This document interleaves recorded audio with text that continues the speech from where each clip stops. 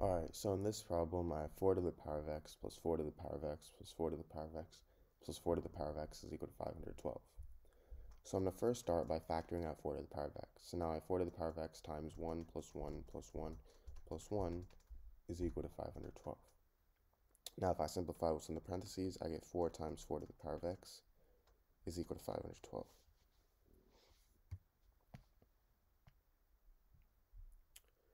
Now, if I have something in the form a to the power of m times a to the power of n, this is equal to a to the power of m plus n.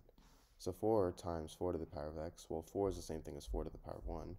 So 4 to the power of 1 times 4 to the power of x, that's equal to 4 to the power of x plus 1, and this is equal to 512. Now, 4, this is the same thing as 2 squared. So I have 2 squared to the power of x plus 1 is equal to 512, which is the same thing as 2 to the power of 9. And if I have something from a to the power of m to the power of n, this is equal to a to the power of m times n. So 2 to the power of 2 to the power of x plus 1 is going to equal 2 to the power of 2 times x plus 1.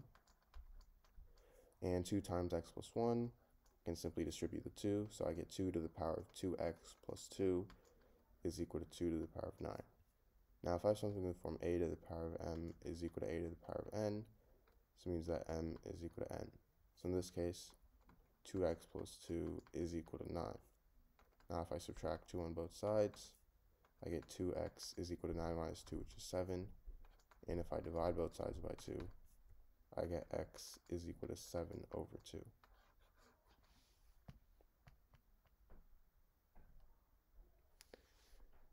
Now I'm going to go ahead and check if this is right. So to check, my original equation was 4 to the power of x plus 4 to the power of x plus 4 to the power of x plus 4 to the power of x is equal to 512. Now if I plug in 7 over 2, I get 4 to the power of 7 over 2 plus 4 to the power of 7 over 2 plus 4 to the power of 7 over 2 plus 4 to the power of 7 over 2 is equal to 512. Now 4 is the same thing as 2 squared, so I have 2 squared to the power of 7 over 2. 4 times is equal to 512.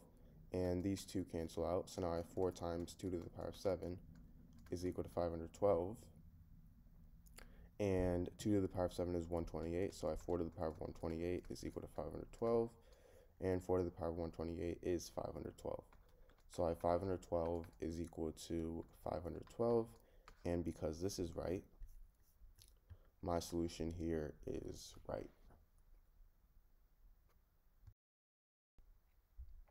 Alright, so in this problem, I have 2 to the power of 3x plus 2 to the power of x is equal to 10. So to solve this, first off, if I have something in the form a to the power of m times n, this is the same thing as a to the power of m to the power of n. So 2 to the power of 3x I can rewrite as 2 to the power of x to the power of 3 so I have this plus 2 to the power of x is equal to 10. Now I'm going to let 2 to the power of x equal to the variable y. So I have y to the power of 3 plus y is equal to 10. Now if I subtract 10 on both sides, these two cancel out and I get y to the power of 3 plus y minus 10 is equal to 0. Now I can rewrite y as 5y minus 4y. So I have this minus 10 is equal to 0.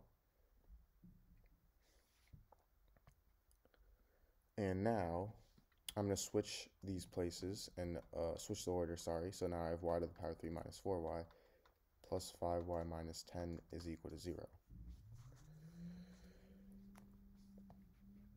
Now from here, from y to the power of 3 minus 4y, I'm going to factor out y. So I get y times y squared minus 4 plus from 5y minus 10, I'm going to factor out 5. So I'll get 5 times y minus 2 is equal to 0. Now y squared minus 4, that's the same thing as y plus 2 times y minus 2. Now I have this plus 5 times y minus 2 is equal to 0. And now if I factor out y minus 2 from this, I get y minus 2 times y times y plus 2 plus 5. This is equal to 0. Now this is the same thing as y minus 2 times y squared plus 2y plus 5 is equal to 0. So now this is going to give me two equations. I get y minus 2 is equal to 0, and y squared plus 2y plus 5 is equal to 0. So for y minus 2 equals 0, y is equal to 2, obviously. And for y squared plus 2y plus 5 equals 0, um, we are going to use the quadratic formula.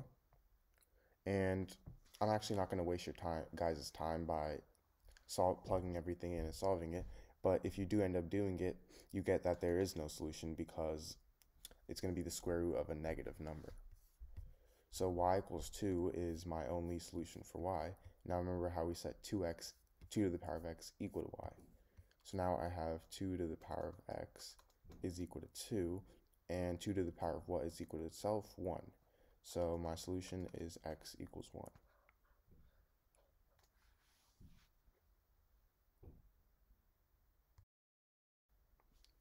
Alright, so in this problem, I have x minus 4 to the power of 4 is equal to x to the power of 4. To solve this, I'm going to start by subtracting x to the power of 4 on both sides. So these two cancel out. Now I have x minus 4 to the power of 4 minus x to the power of 4 is equal to 0. Now I'm going to rewrite this as x minus 4 squared to the power of 2 minus x squared to the power of 2 is equal to 0. And if I have something in the form a squared minus b squared, this is equal to a plus b times a minus b. So in this case, a is x minus 4 squared, and b is x squared. So I have x minus 4 squared plus x squared times x minus 4 squared minus x squared is equal to 0. So now this gives, now if I simplify this, I get x squared minus 8x plus 16 plus x squared times x squared minus 8x plus 16 minus x squared is equal to 0. So in my right hand side, x squared and x squared, those two add up. So I get 2x squared minus 8x plus 16 times, my right hand side, these two cancel out. So I get negative 8x plus 16 is equal to 0. So now this gives me two equations. I have 2x squared minus 8x plus 16 is equal to 0. And negative 8x plus 16 equals 0. So for 2x squared minus 8x plus 16 equals 0, I'm going to first start by dividing all my terms by 2. So now I have x squared minus 4x plus 8 is equal to 0. And now to solve this, I'm going to plug this in the quadratic formula, negative b. So negative of negative 4 plus or minus the square root of b squared negative 4 squared, which is 16, minus 4 times a, which is 1, times c, which is 8, all over 2a. And this is equal to positive 4 plus or minus the square root of 16 minus 32 all over 2, which is equal to 4 plus or minus the square root of negative 16 over 2. And the square root of negative 16, that's the same thing as the square root of 16 times the square root of negative 1. And the square root of negative 1, that's equal to the imaginary number i. So I have 4 plus or minus, the square root of 16 is 4i over 2, which is equal to 2 plus or minus 2i. And for negative 8x plus 16, I get negative 8x is equal to negative 16, meaning x is equal to 2. So these are my three solutions to this problem.